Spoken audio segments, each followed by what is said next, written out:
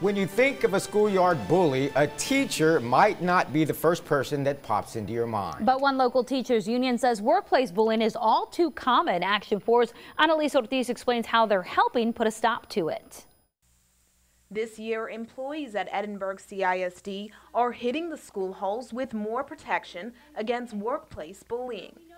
There was too many um, people, teachers, that were being bullied, and it was an issue that we really brought to the board, and we wanted, you know, for them to look at it. The Edinburg chapter of the American Federation of Teachers says some teachers are bullied by other faculty members.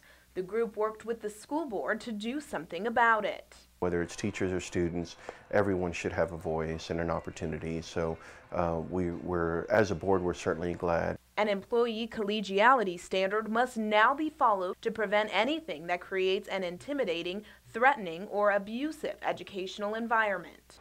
It really affects our students negatively when teachers are being bullied because they go back into the classrooms and the, the children are dealing with teachers that are being bullied. And it's just not a great environment for learning to happen.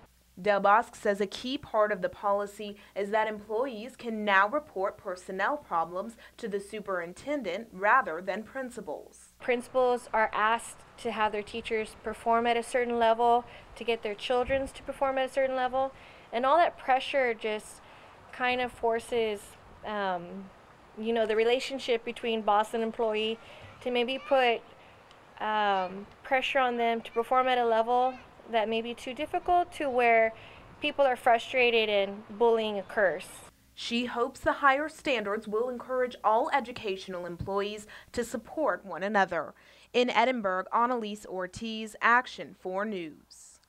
The Edinburg School Board President Robert Pena says he'd like to see other school districts in the valley follow in their footsteps because Edinburg is the first to implement a policy like that. What do you think about workplace bullying? Is it a problem? Let us know on Twitter at kgbt.com and on facebook.com slash action4news.